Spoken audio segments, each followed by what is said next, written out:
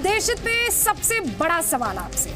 सवाल कि क्या आप राष्ट्रगान गाते हैं? क्या भारत माता की जय बोलते हैं? और क्या आप अपनी देशभक्ति का टेस्ट देने के लिए तैयार हैं? देशभक्ति का टेस्ट बिल्कुल सही सुना। दरअसल यूपी सरकार ने सभी मदरसों को 15 अगस्त पर राष्ट्रगान।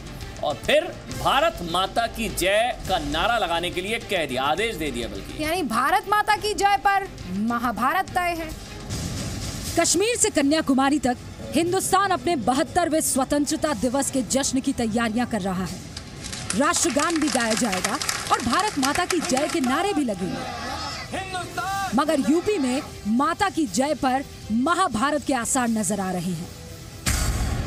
यूपी सरकार और शिया वक्फ बोर्ड ने राष्ट्रगान पर विशेष निर्देश जारी किए हैं। 15 अगस्त को यूपी के सभी मदरसों में तिरंगा फहराया जाएगा। मदरसों में राष्ट्रगान गाएँ और फिर भारत माता की जय के नारे लगाएँ।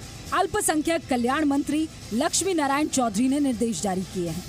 यूपी सरकार का कहना है, बिना भारत माता की जय के राष्ट्रगान अधूरा है।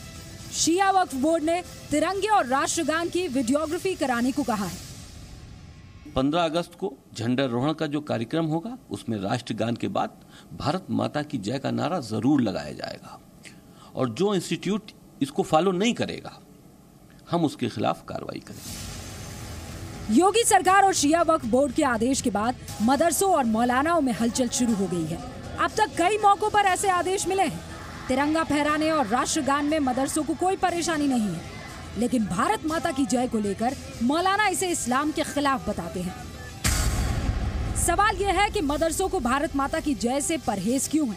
शिया वक्फ बोर्ड और योगी सरकार के निर्देश से मदरसे परेशान क्यों हैं? क्या योगी सरकार मदरसों का देशभक्ति टेस्ट ले रही है? कि आपकी कोई हैसियत है तो बताइए। वो वो कहें।